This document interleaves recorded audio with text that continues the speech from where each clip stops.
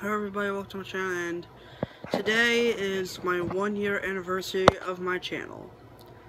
So basically today is when I made my first video about one year ago where I had my dad react to try not to laugh videos and it was a really good time but currently right now it's get school is really bad right now like it's get because like I have to do all these projects, finals, all this. So I'm not really sure if I can really make a lot of videos right now because especially in May and June where I have to keep my grades up because they're they're not really the best but I'm still trying to like pass. So all you people I I appreciate all the all like all the support you give me like it really it really like um enjoys me that like how you people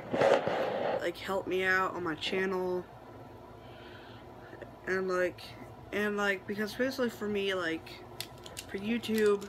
all your support helps me go on. So if you want to want if you want to have like for the next video I would need to have like 20 likes on this video and I can make like a new video and in the comments of this of this exact video you can actually you can actually recommend videos for me to react